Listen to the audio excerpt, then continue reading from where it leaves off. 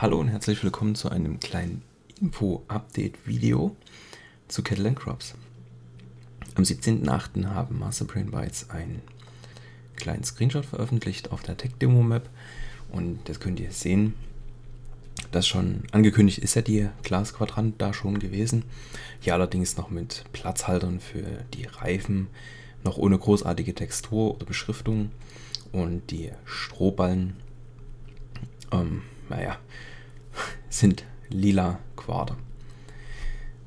Da haben sie am 24.08. direkt noch einen nachgeschoben. Moment, muss ich auch umklicken. Und das sieht das Ganze schon etwas detailreicher aus. Und ich würde sagen, wir gehen mal hier Stück für Stück durch. Wir fangen hier oben an. Zu sehen ist ein Joskin Vago als Zweiachs-Ausführung äh, mit Drehschemel und ich habe gerade nochmal nachgeschaut, der hat ein Lade- oder ein Transportgewicht von 8 bis 20 Tonnen. Also je nach Ausführung. Den gibt es auch noch mit drei ähm, Rädern, also drei Achsen. Hat er dann hinten eine Doppelachse. Da schafft er dann wahrscheinlich wirklich die 20 Tonnen. Hier nebenan ist ähm, der Arion mit dem Frontlader und einem Ballenspieß zu sehen. Ich habe ähm, also Pressel und Lade sind ja ähm, die Hersteller für die Silo-Zange. Und da habe ich jetzt mal geschaut und die haben einen Ballenspieß, aber der sieht nicht ganz so aus. Müssen wir also schauen, von wem der ist, aber ich denke schon, Pressel und Lade wird es ähm, ja, quasi stellen, das Gerät. Und weiter geht es dann natürlich hier mit dem Highlight. Ihr seht hier schon die ersten Strohschwaden. Ob die so, wie sie jetzt dargestellt sind, tatsächlich final sind, werden wir sehen, aber ich finde, es sieht schon echt gut aus. Hier hat der Fahrer einen kleinen Knick reingefahren. Aus dem Tucano sieht man, dass das noch nicht rausläuft, was hinten rausgekippt wird.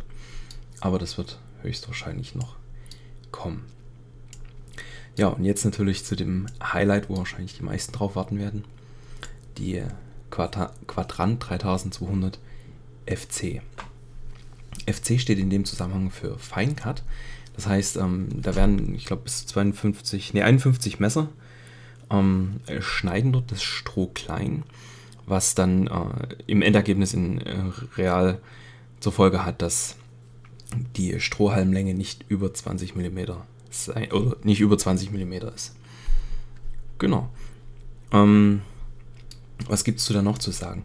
Die Reifen habe ich im Internet geschaut, die sind bei Glas nicht ganz so grobstollig, aber ich glaube, die kann man auch ähm, mit anderen Reifen noch ausrüsten. Und ich bin mir ziemlich sicher, dass da später auch die Möglichkeit bestehen wird, äh, ja, anderes, andere Reifen drauf zu machen, wie ja auch bei den Schleppern geplant ist, das ja, das wisst ihr ja.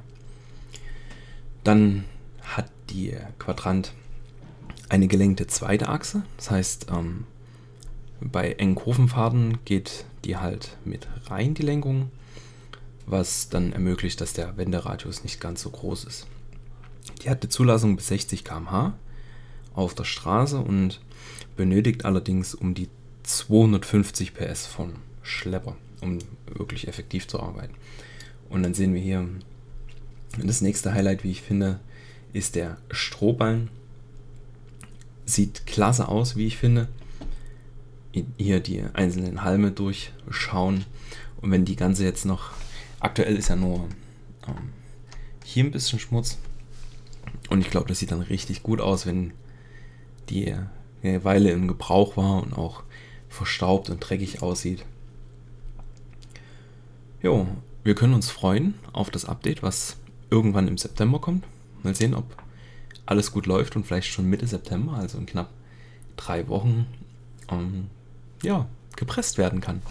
Wie verrückt. Das soll es eigentlich auch schon wieder gewesen sein.